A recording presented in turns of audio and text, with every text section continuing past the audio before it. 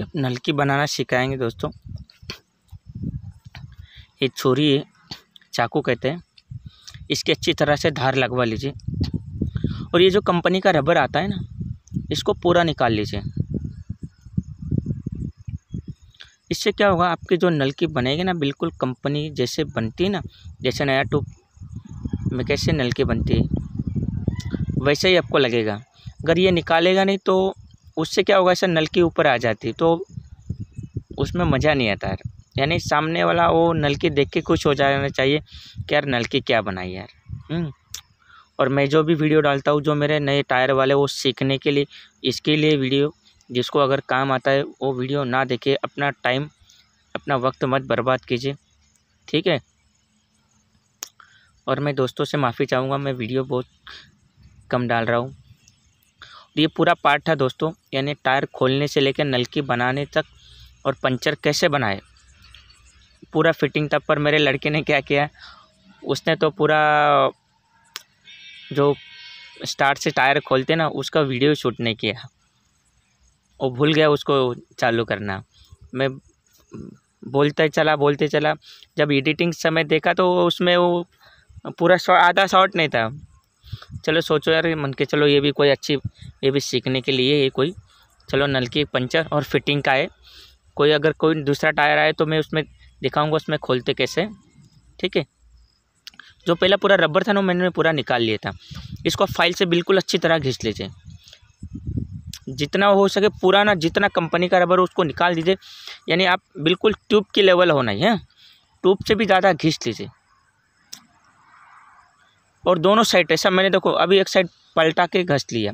यानी वो उसको घुमा लिया। ये सोलेशन है।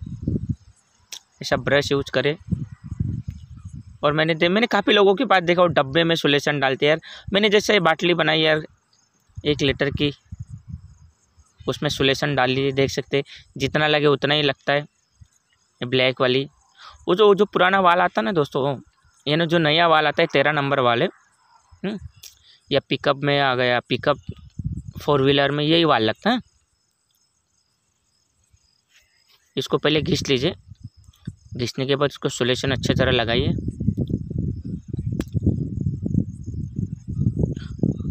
उसको थोड़ा ऐसा ना सोलेशन लगाए तो उसमें ना हवा मार लीजिए, क्योंकि इसमें कभी कभी क्या होता है, वो सोलेशन आ जाता है ना तो बाद में ये हो जाता देख सकते हैं मैंने देखे ये रबर लिया बिल्कुल ज़्यादा बड़ा भी नहीं है, ये ओमनी का रबर है। हम्म। इसके ऊपर ज़्यादा रबर लगवाना भी नहीं, बिल्कुल उसके हिसाब से ना बाहर निकले।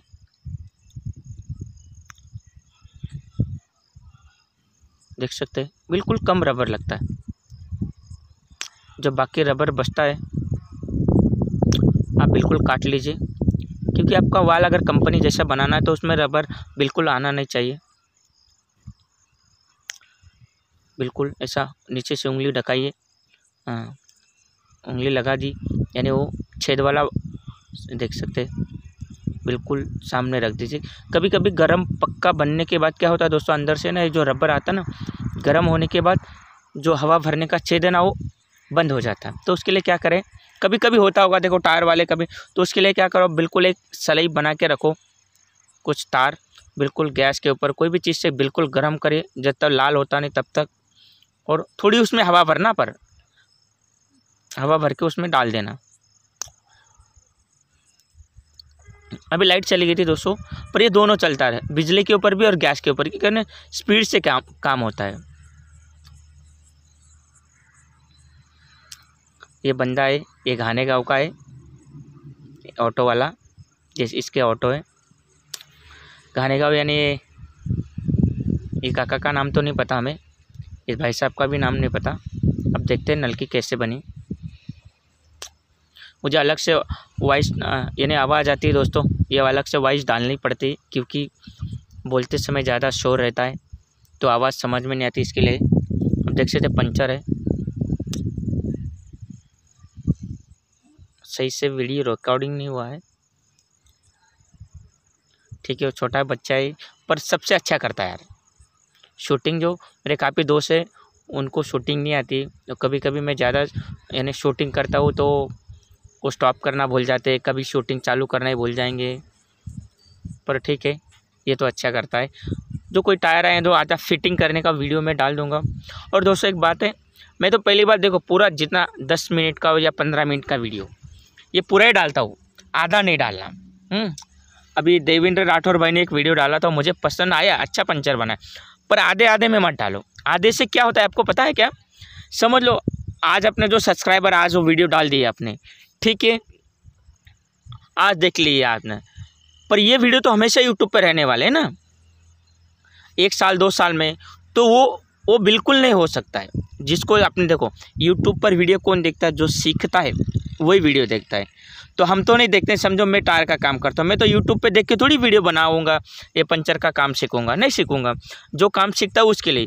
तो कितना भी टाइम लगे वीडियो किस लिए बनाते हैं? लोगों को ज्ञान देने के लिए हाँ कोई सीख सके। तो बिल्कुल पूरा वीडियो डालिए हाँ देवेंद्र भाई, पूरा वीडियो डालिए। वो पंचर मैंने देखा, भस्ट, बिल्कुल बढ़िया पंचर था। चाहे वो दस मिनट का हो एक घंटे का वीडियो, जिसको देखना है, वो वीडियो पूरा ही देखेगा, ठीक है? देखो नलकी भी बढ़िया बनी है। देख सकते हैं। बिल्कुल आपको लगता है कंपनी जैसी वो नलकी बनी अब ये पंचर, देख सकते हो, बिल्कुल फिनिशिंग में पंचर बन गया है।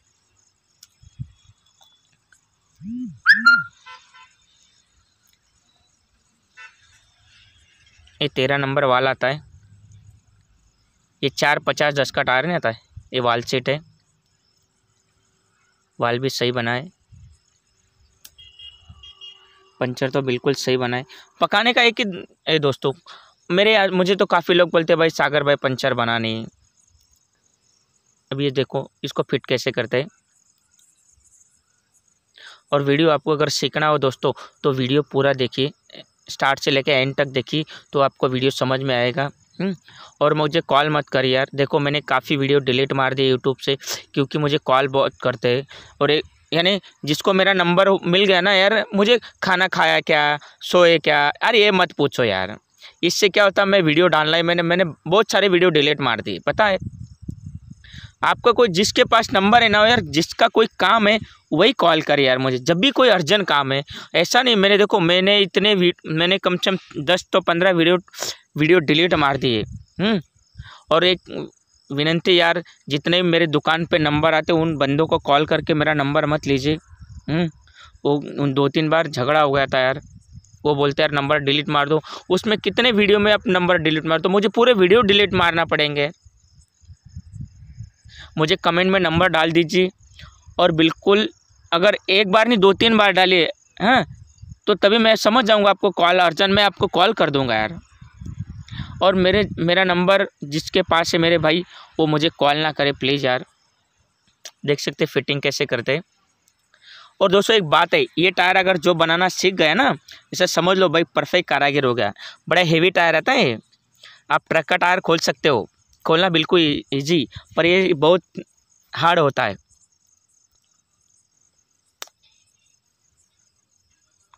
वो रिक्शा थी मिनीटोर नहीं मिनीटोर नहीं यार। हमारे तो रिक्शा ही बोलते हैं उसको। मिनीटोर अलग थी वो टाटा की, तीन पहिए वाली जिसमें तो टेयरिंग था। देख सो उसमें अस्सी पॉइंट हवा भरा है। अस्सी, जैसे लोड के हिसाब से पैसेंजर थी तो उसमें अस्सी। जो माल लेके जाते हैं ना उसमें सौ पॉइंट। और दोस्तों, देख सकते हैं, वीडियो अगर पसंद आए, उसे लाइक कीजिए, अपने दोस्तों के साथ शेयर कीजिए। ठीक है, जय महाराष्ट्र, जय खानदेश।